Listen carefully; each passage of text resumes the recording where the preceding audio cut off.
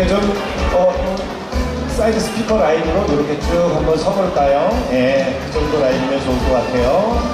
오늘 정말 열띤 경연을 펼쳐주신 14분의 참가자를 무대로 모셨습니다. 다 안 올라오셨나요? 참가자분들 무대로 올라오세요. 순서대로 좀 이렇게 서주시면 좋을 듯 합니다.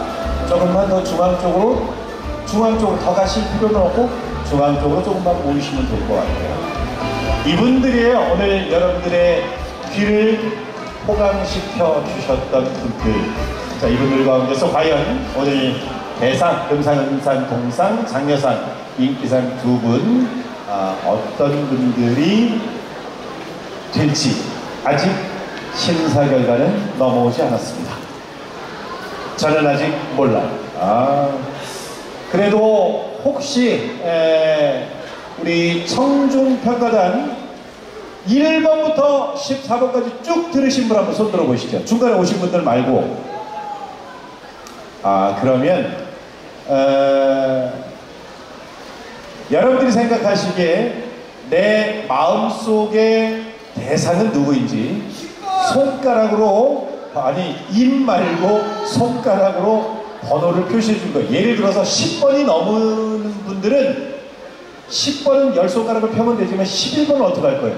주먹 쥐고 하나 그러면 11번 두 개 뭐 이렇게 12번 이렇게 알아볼 테니까 우리 청중평가단 여러분들의 평가 오늘 나의 대상은 몇 번?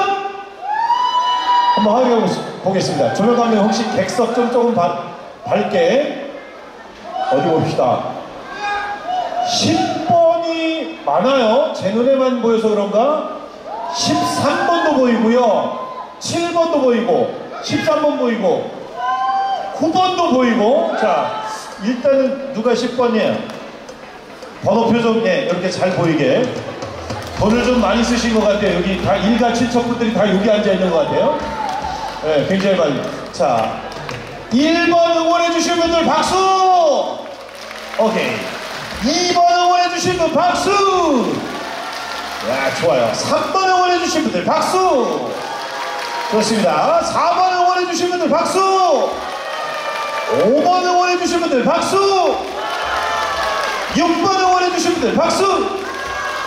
7번 응원해 주신 분 박수! 오 좋아요. 8번 응원해 주신 분들 박수